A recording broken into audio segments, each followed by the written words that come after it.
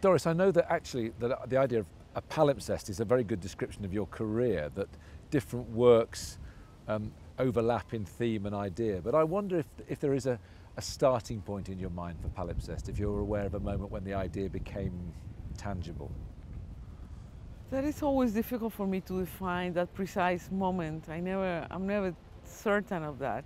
Um, I, I am studying the testimonies, I'm reading, I'm drawing, I'm working, and all of a sudden, uh, as I, I, I do many, I do many sketches. Um, I sketch quite fast, and then there is one idea that sort of that I cannot move out of it, that I get stuck in that, and and that's the point when I know I cannot go any farther. That I have to explore that that that that image I had of the of the earth crying these names because we are unable to mourn collectively. What was your initial contact with the with the the European uh, migrant crisis? Was it through the Western media? Yes, absolutely, absolutely. Um, what is amazing is that, that if you if you're willing to know, there is a lot of information in mainstream media. But, but not really names. It's often images or the broad issue about the numbers or the volume or the problem or how one deals with it. Yes, but usually there is Mm, you can find one or two names in I mean, if you read 10 articles, you can find one or two names. If you really cover, as I was doing, like the British press, Spanish press, um, German press, um, uh, we were really Syrian press at the time. It was quite active. Uh, Turkish press. We were reading a lot of press, so we found names. We found many names uh, and sometimes stories attached to those names. And those names that had, that had a story and uh, uh, were the ones that, that we start working on, researching more deeply.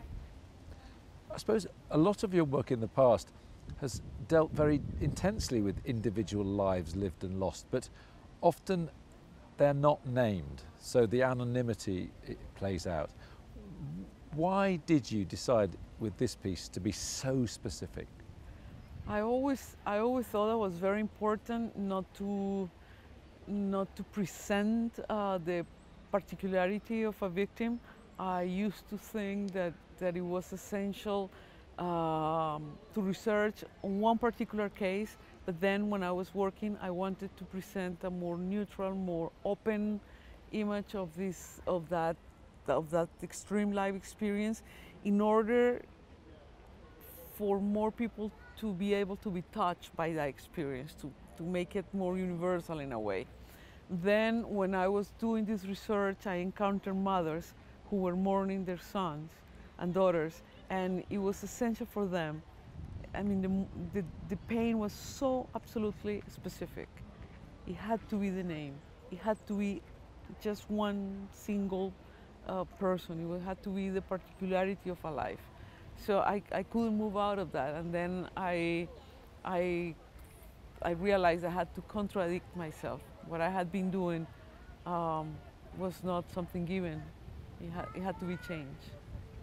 And the idea of water, given that many migrants are drowned and that's part of the story, I suppose that's one motivation. What about the idea of weeping? Because the names themselves seem to weep. I think weeping was the main idea because I was, as I was interviewing these mothers, weeping was, of course, always present. And as I went away to my studio to work on these, uh, uh, on these interviews, um, again, weeping was present all the time. Um, it, is, it was understanding the idea that mourning is something you don't overcome. It's something you have to live with. And, and all these lost lives and all this violence that we experience is something we have to live with. It's something that is part of our experience and of course defines the life of the mourner. So somehow they, they create this, this method or this way of, of, of traversing the day somehow with difficulty. But, but, but the presence of the, of, the, of the pain is there The absence is, has marked every single moment of their lives. So weeping that was essential because it's always there. And, and since we're unable to, to mourn, I thought that, that the very earth had to cry these names. It's very interesting that when you do lose, someone close to you, well-meaning people often say, oh, you'll get over it. And it seems to me that grief, one of the things is you don't ever fully get over the loss of someone close to you. Maybe you learn different ways of dealing with it. But it is also interesting about the idea of how society focuses obsessively on the loss of someone and then very quickly forgets. And I suppose that idea of, of, of memorial and loss has been central to your work. Yes, yes, yes. Loss, there are loss, many, many different losses. Um, mm, of course, the more intense ones is the, the love of, of, of a loved person. But in the case of, of uh, other kinds of violence like torture or, or sexual violence, it's the loss of your, your previous self, of whoever you were before that event. So there are many losses that we completely disregard.